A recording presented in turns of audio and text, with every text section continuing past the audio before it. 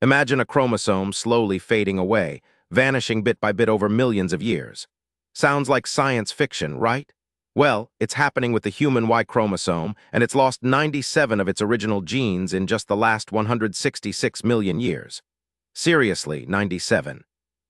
What started with around 1,600 genes is now down to barely 45 to 55. Scientists currently estimate it could disappear entirely within the next 11 million years.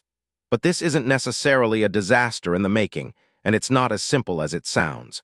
There's a really interesting reason this is happening.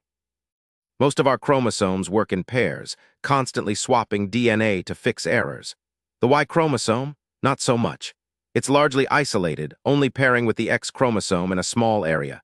This isolation means it's more prone to mutations and losing genes, about 10 per million years to be exact.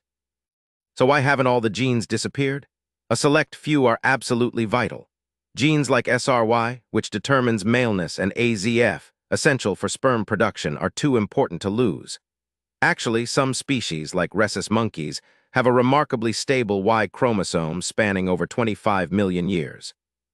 If the Y chromosome does eventually vanish, there are two possible outcomes. It could stabilize, finding a balance like we see in other creatures. Or a completely new system for determining sex could evolve. We've seen this before in rodents where critical Y genes move to other chromosomes. Interestingly, Y chromosome loss already occurs as men age. It's called LOY, affecting around 40 of men over 70 and has been linked to increased health risks like cancer and heart disease.